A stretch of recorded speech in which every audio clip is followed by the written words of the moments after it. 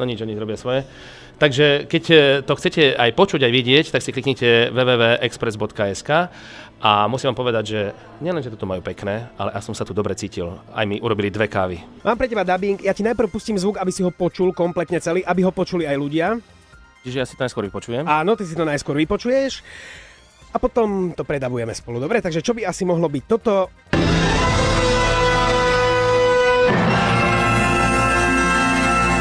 織田信孝様こそ最もしかるべきかと存ずるが参謀し君をお世継ぎに成し立てまつった。織田家の実権を誰が握るか会議で敗れた勝家信孝。秀吉との激突は避けては通れなかった。山内の名を天下に示す一戦ぞ。ここが巧妙な辻じゃ Troška je to také dlhšie, troška, Aj, ale je. videl som, že si bol normálne silno zamyslený Čo teraz. to je za reč toto? E, všetko ti poviem na samom konci.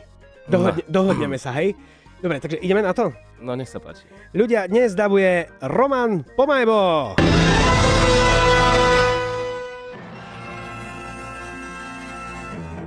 Už máme toho dosť. Aj my chceme svoje práva.